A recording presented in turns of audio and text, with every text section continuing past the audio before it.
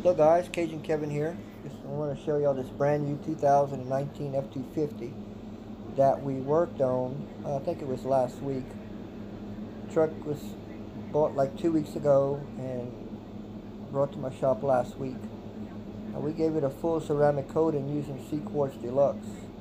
You can see the shine that it offers. Yes, it is a brand new truck, it's new paint, but it really offers a lot of gloss and a lot of reflection very easy to work with. It's, it's, a, a coating that I highly recommend.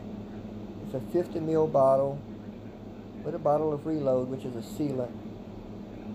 Comes with the suede towels, the block, everything you need for like 70 bucks. Now we use the reload after it's cured.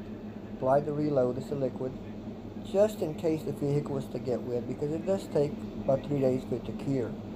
So the reload will protect the coating if it does get wet. But look at the, the picture here of the, the truck.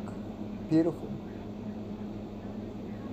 Thanks for watching and we'll talk with you guys later.